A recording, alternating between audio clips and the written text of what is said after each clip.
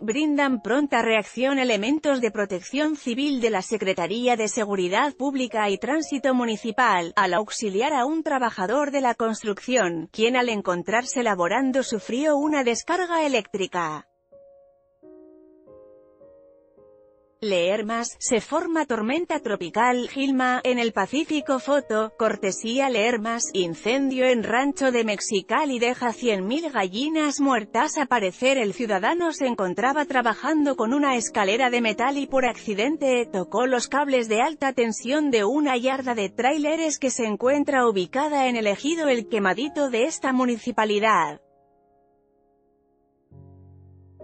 Rápidamente los efectivos de rescate, tras recibir el reporte al teléfono de emergencia 911, se trasladaron al lugar para brindar los primeros auxilios a la persona afectada, en acciones coordinadas con elementos de bomberos y protección civil estatal. Foto, cortesía El paciente fue trasladado por paramédicos de Cruz Roja a un nosocomio de esta ciudad para recibir atención